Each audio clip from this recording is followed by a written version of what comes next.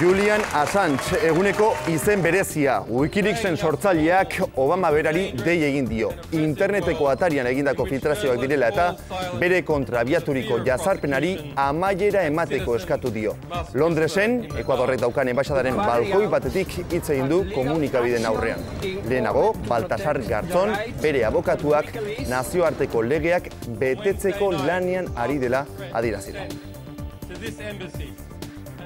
Arratxaldeon, ongietorri, Rajoiren gobernuak baldintzak aldatuko ditu, azken aldian hainbeste zeresan eman duten lehentasuneko akzioak preferenteak erosteko.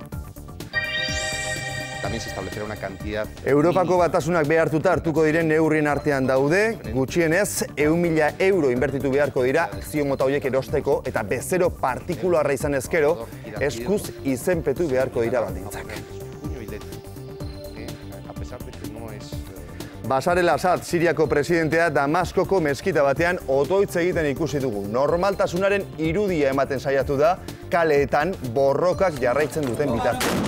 Tiroetatik iesi, asko dira, Siria barruan ere, etxea utzi eta alde egin dutenak eurekin izan da Mikel Aiestana lankidea.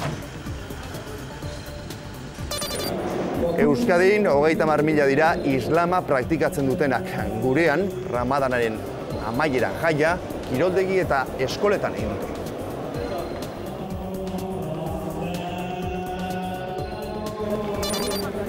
Alerta laranjarekin aste artea bitartean beroak ez du hartuko gaitu oraindik ere. Batez ere barrualdean. Gauak izango dira zailenak, lo hartzeko ez da erraza izango, hogei gradutik gora kokatuko baitira merkurioak.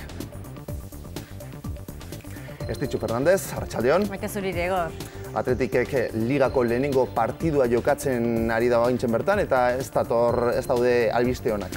Ez, baina tira, e, utxe eta hiru galtzen ari zen Betisen aurka, San Mamesen, eta orain bi eta hiru ari da galtzen oraindik, baina De Marcosek eta San Josek egin dituzte bi golak, eta adi jarraituko dugu e, ordu laurden falta baita partida hori bukatzeko. Baina gaur badugu bertzerik, Espainiako bueltan adibidez, Jonathan Castroviejok jarraitzen du lider bigarren egunean ere, Iruñe eta bian arteko etapa jokatu bostean. Esprintean bukatu da gaurkoa, eta Jon Dekekolb Alemaniarra izan da azkarrena biharkoak arraten duel muga eta Castro Viejo maillot gorriari eusten saiatuko da.